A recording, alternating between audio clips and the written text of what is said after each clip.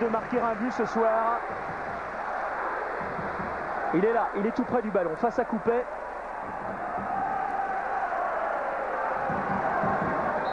On connaît la frappe de Caveglia, on connaît la frappe de Sibirski également. Finalement, ça va C'est but 2 à 0 sur une erreur de Coupet. 2 à 0 après 8 minutes de jeu. C'est un scénario absolument incroyable. Sibirski, C'est- Oui, je crois qu'il y a eu du tout dans ce but. Il y a, il y a certainement eu une petite faute de main de, de Grégory Coupé, mais aussi ce- cette formidable frappe de Sibierski et puis cette attention particulière à- au niveau de sa mère qui vient de perdre.